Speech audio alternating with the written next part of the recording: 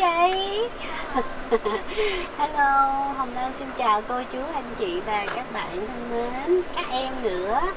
À hôm nay trường gia linh có một cái uh, parade uh, car parade để mà chạy vòng vòng cái khu uh, trong xóm để mà chào tất cả những học sinh đó bây giờ mình chạy ngang trường gia linh mình coi coi tình hình nó như thế nào nha.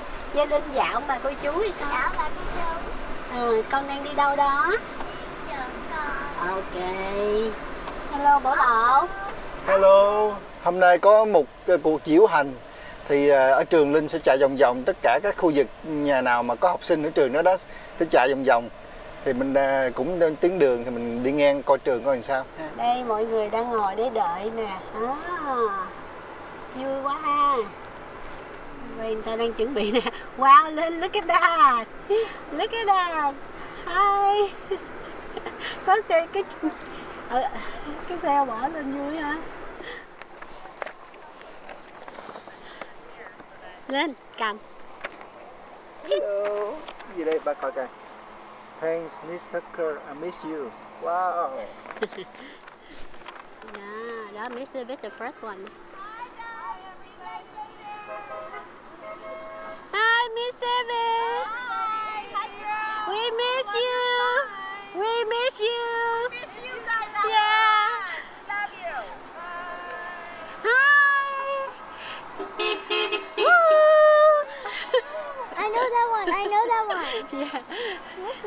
Si Miss Tucker nè. Woo Miss you Woo.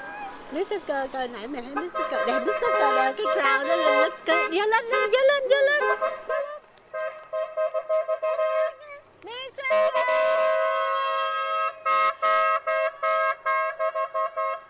She even has roses. oh my god. Yeah Miss Tucker đó lên nè Miss Tucker của Linh nè. À. Ok là đây là Miss à, Miss Cherry. Woo! It's candy. Yeah. Thank you. It's windy. Miss Miss Đào. Woo! Có mấy xe xe convertible ngồi đẹp quá. Woo! Christine. Woohoo! That's lady. Miss Hunter. Miss Hunter mẹ là ở first grade phải không Linh? Second grade. Ở second grade. Woo!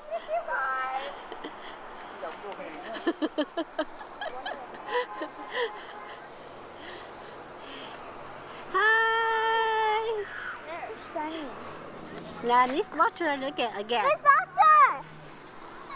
Oh, Miss Butter. And then Miss gì? Miss gì? Woo! Miss gì mẹ quên rồi? Uh, Miss Shipker. Shipker. Hi, Miss Grace. The girl. Woo! Miss Shipker lên không?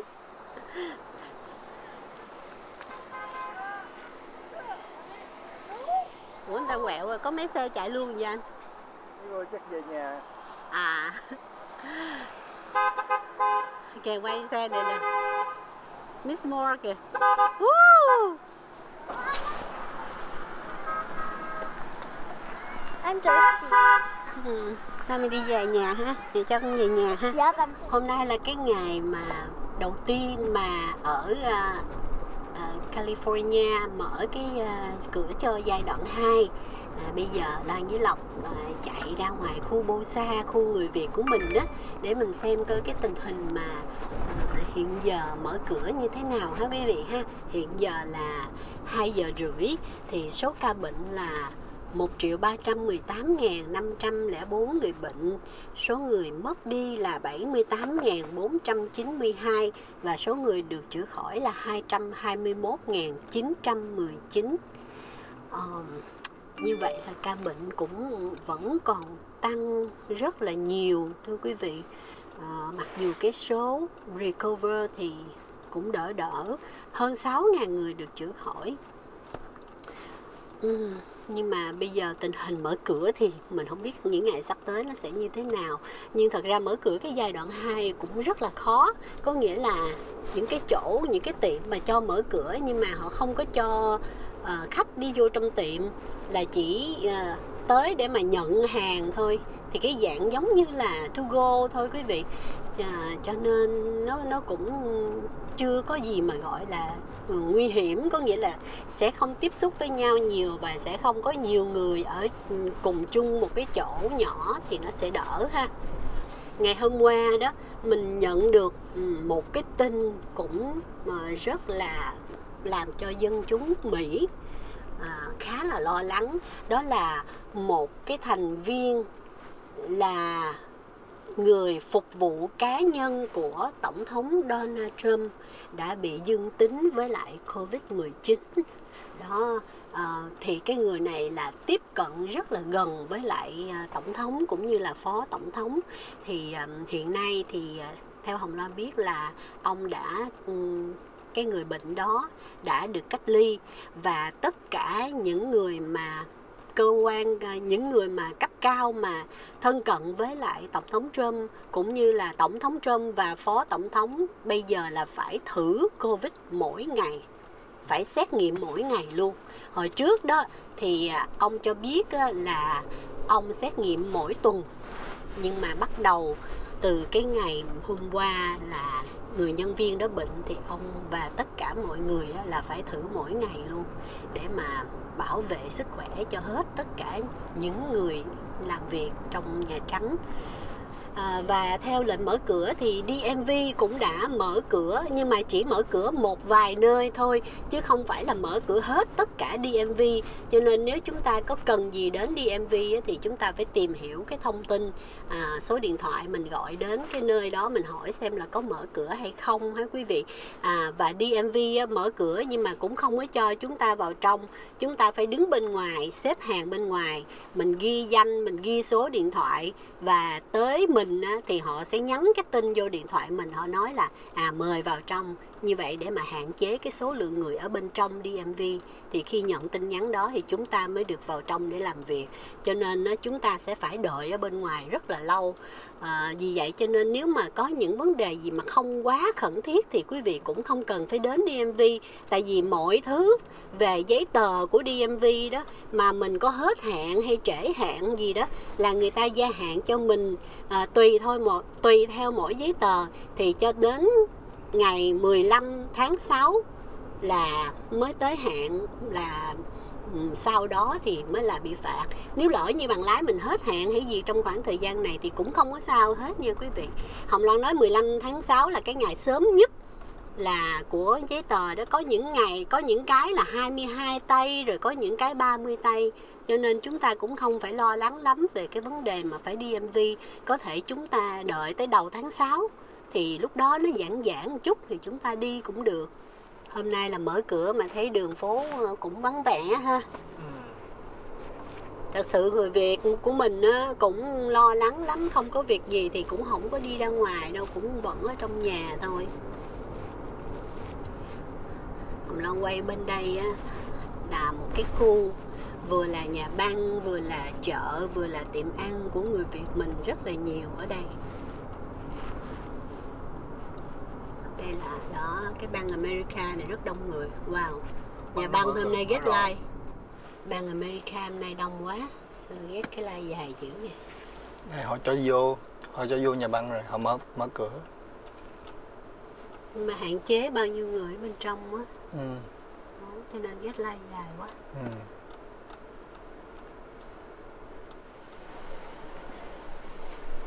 đây là khu uh, của người Việt mình mà hình như là khu này là lâu đời nhất luôn á.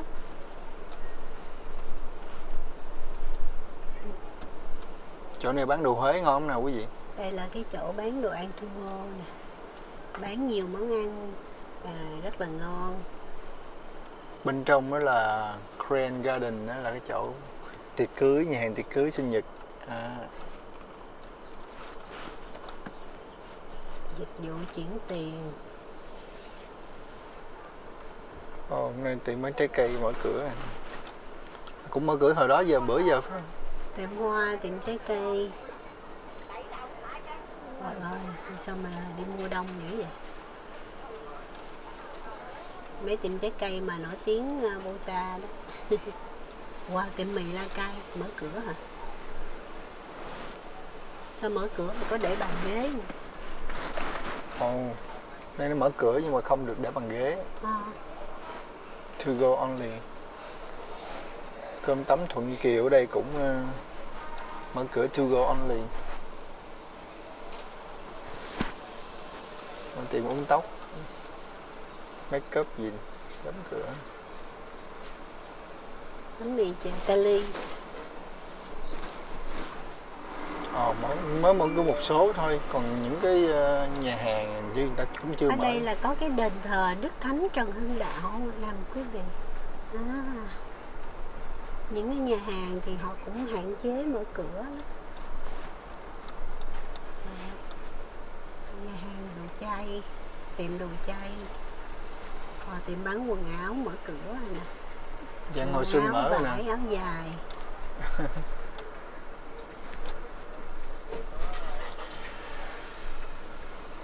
Ừ, mà người ta không mở cửa mỗi tháng người ta vẫn trả tiền đất tiền rent tiền thuế Mấy tiệm bán quần áo chợ giải rồi họ cũng bắt đầu mở rồi.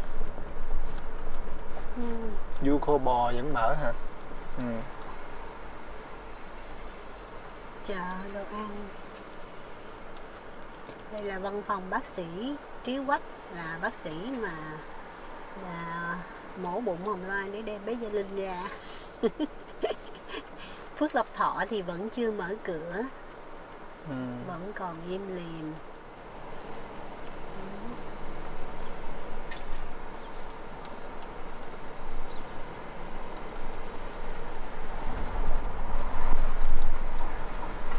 Khu Chỗ- này là hair design, đường làm tóc, rồi fashion, bấm cửa cái mic đóng nè. cửa thôi.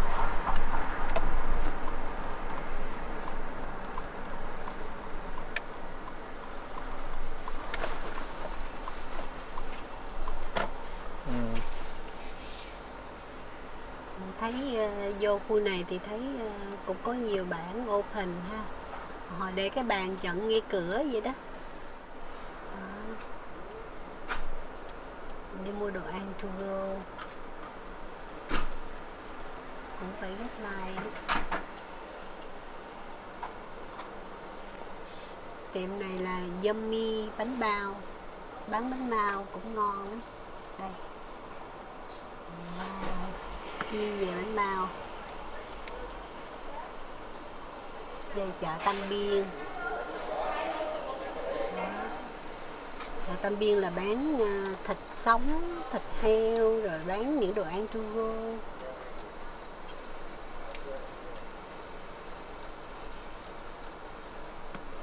cái này hồi xưa phở thăng long á đắt dễ sợ rồi bây giờ đóng luôn rồi nè dẹp tiệm luôn police luôn hả ồ Ờ.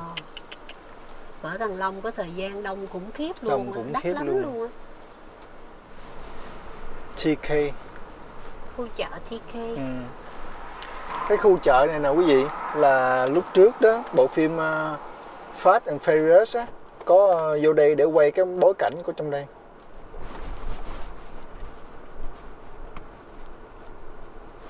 Quán Hỷ nè, Quán Hỷ là cũng nổi tiếng lâu đời ở đây đó, bánh bèo bún bò Huế. Pick up only. Khôi Nguyên kế bên là bán đồ chai đây có đồ Thái Ôi trời Hiển Khánh mở cửa luôn rồi nè. Oh, ừ. Ít lai dài quá. khu này là cái khu cũng ờ, lâu đời nè khu này gọi là Bosa Mini Mall khu này là nó cũng rất là lâu đời Nhìn tiệm tóc là điều hiu nè. ừ. Điên Thi có mở kìa Đi thi, thi đây không có cà phê. à, hớt tóc tiệm tóc kem. sao mở đèn ta Đâu, đâu có mở cửa. Trần dịch vụ mà, chưa mở cửa. Ờ, ở đây là có chỗ Tú Quỳnh nè. cha. nhà sách Tú Quỳnh đó quý vị quý vị thường nghe là những chương trình show bán vé được nhà sách Tú Quỳnh là ở đây ừ. À ông thống đốc. Thống đốc. Ông thống đốc. Của tiểu bang California đó. Ông đang lập ra một cái chương trình gọi là tuyển dụng 20.000 người. Và ông gọi những người này sẽ là cảnh sát dịch bệnh. À 20.000 người sẽ được huấn luyện để mà làm ra một cái đội chuyên môn truy tìm những người bị bệnh Covid-19 thì cái số tiền à, bỏ ra cho cái chương trình này là 8 triệu 700 ngàn đô la Mỹ. Ông cho tuyển những cái người nhân viên đó ông kết hợp giữa à, UCFA và UCLA để mà hợp tác với nhau à, và huấn luyện cho những người này. Trong cái chương trình đó thì những người ứng viên là phải giỏi kỹ năng giao tiếp phải biết phỏng vấn biết tổ chức giỏi về ngôn ngữ phải biết nhập dữ liệu và điện toán. À, ông nói ông muốn những cái người này là khi mà gặp những người mà có nguy cơ bị bệnh thì phải biết cách nói chuyện thuyết phục chứ không phải là thẩm vấn người ta. Để mà kêu gọi những người đó là phải cách ly rồi phải cho cái biết là rồi phải cho biết là đã có gặp gỡ những ai à, để mà truy tìm những người có nguy cơ bị bệnh Covid-19. Theo CDC đó thì những cái người mà gọi là tiếp xúc gần mà dễ bị lây bệnh thì phải là những người tiếp xúc với nhau dưới 6 feet và phải tiếp xúc trong khoảng 15 phút thì là sẽ có nguy cơ lây bệnh. Hồng Loan cũng hy vọng là cái chương trình này á thì à, sẽ giúp chúng ta truy tìm và cách ly nhiều người thì nó sẽ không có lây lan ra nữa.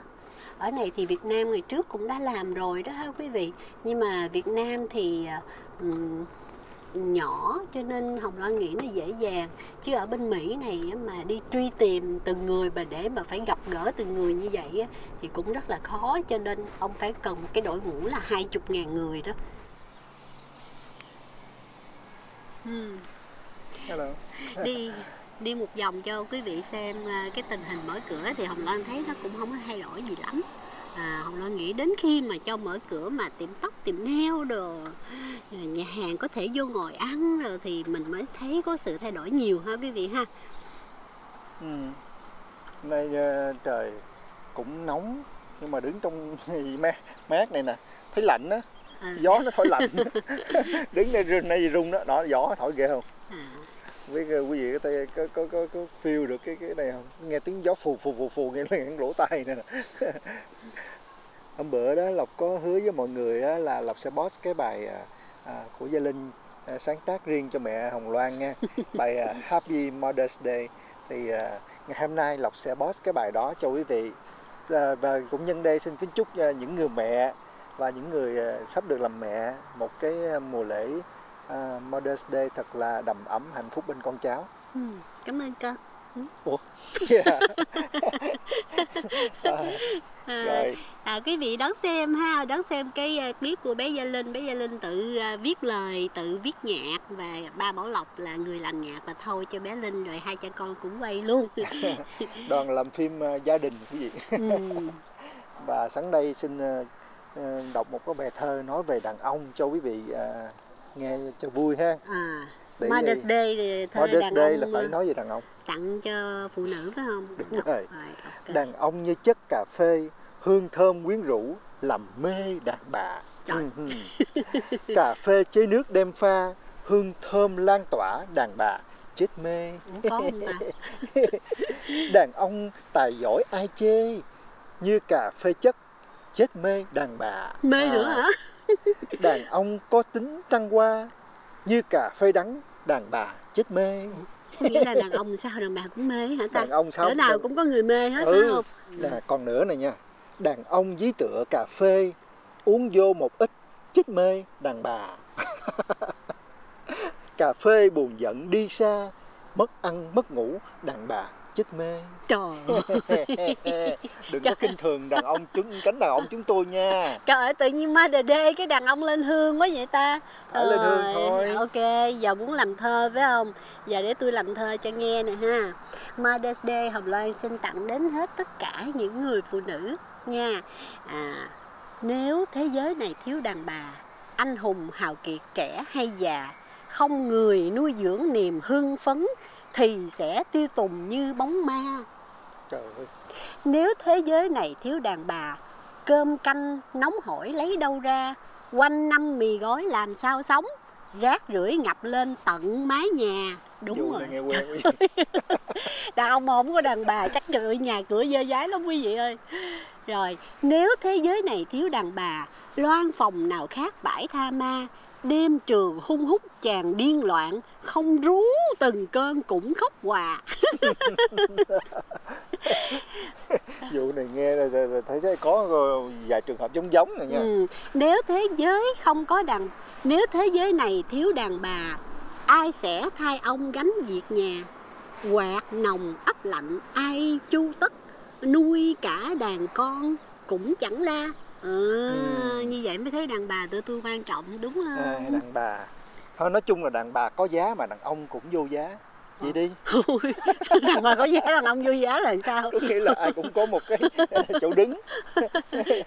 Ok hôm nay chia sẻ chút xíu với quý vị ha. À, cái um, à, một cái niềm vui nho nhỏ của bé Gia Linh ngày hôm nay Hồng Loan nghĩ là chắc quý vị cũng cảm thấy hơi vui vui được chút xíu khi mà có một cái cái sự mà tiếp xúc với những người chung quanh làm chúng ta cảm thấy nó hưng phấn. Bé Gia Linh excited từ hôm qua tới giờ quý vị. Cảm ơn quý vị đã theo dõi chương trình Loan và Lộc cũng như là cảm ơn tất cả tình thương yêu của quý vị đã dành cho gia đình của Hồng Loan xin chào tạm biệt quý vị và Happy Mother's Day. Đừng quên like, share, subscribe channel nhé quý vị. Bye bye.